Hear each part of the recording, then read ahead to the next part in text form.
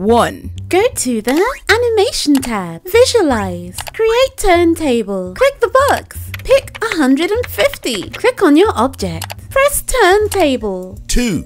Click on the new group. Hold D and hold X. Drag to the center of your grid. With your group selected, go to Windows, Animation Editor, Graph Editor. Highlight the graph. Select the Linear tool. To make it look really smooth, make it one frame less. Ta-da! Now you've got a very nice smooth turnaround. And it's endless. Is there something in Maya you want to know how to do? Drop a comment down below. For more Pixi tips, don't forget to subscribe.